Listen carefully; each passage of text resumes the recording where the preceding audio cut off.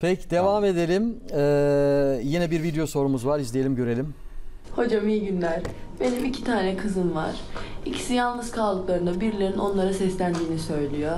Büyük kızım birkaç kez yalnız kaldığında siyah bir gölgenin onu seyrettiğini söyledi.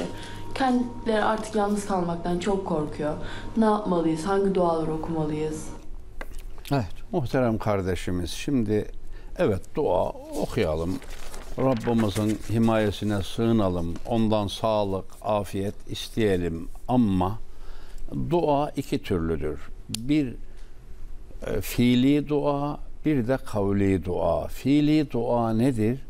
İlgili hekimine götürmektir.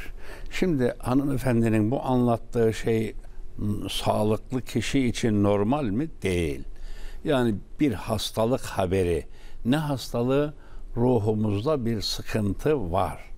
E, bu, bunun hekimi kimdir? Psikiyatristtir. Gerek özel ve gerekse e, devletimizin hastanelerinde böyle hekimler vardır. Yani onlardan destek almalı, onlardan yardım almalı. E, aynı zamanda da dua, sena etmeli.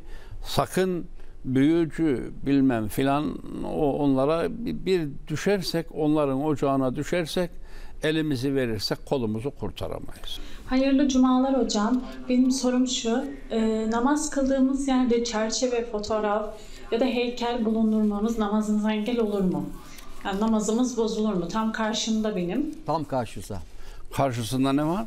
Ee, hocam resim var, fotoğraf var, heykel var, biblo var. Ee, Bunlar diyor tam karşımda ayna var mesela, televizyon var. Tam karşımda. Bunlar e, bulunduğunda o namazım sahih olur mu, kabul olur mu diyor.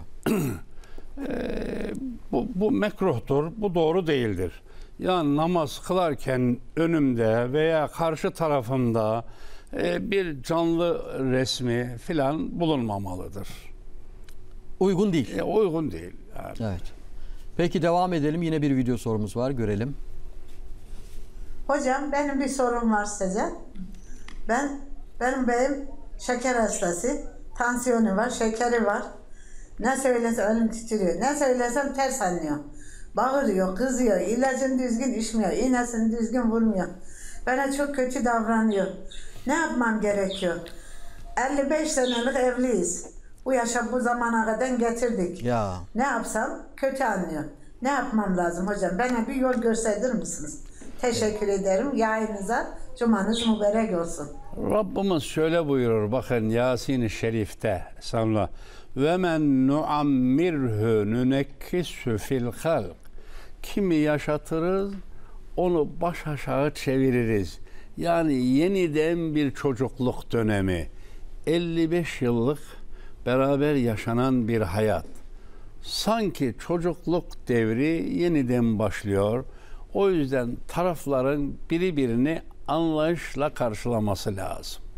Yani e, tahammülle, anlayışla karşılaması lazım. Çok sevap alırlar, mükafat alırlar. Yoksa vay sen öyle dedin, ben böyle dedim diye kavga, niza doğru değil. Ya Cenab-ı Hakk'ın rızası e, efendim sabırdadır, tahammüldedir. E, kalp kırmada değil. Yani gönül çalabın tahtı, çalap gönle baktı. İki cihan bedbahtı, kim gönül yıkar ise. ya Gönül arş-ı Rahmandır. Onu yıkmak ziyade toyandır. Gelin birbirimizin gönlünü kırmayalım. Sabırla, anlayışla karşılayalım. Yani bu yaşlara gelince sanki ikinci çocukluk dönemi başlıyor. Birbirimizi hoş görmeliyiz. Ki sevap kazanmalıyız. Peki teşekkür ediyoruz hocam. Daha fazla video izlemek için kanalımıza abone olabilir, ilk izleyen olmak isterseniz bildirimleri açabilirsiniz.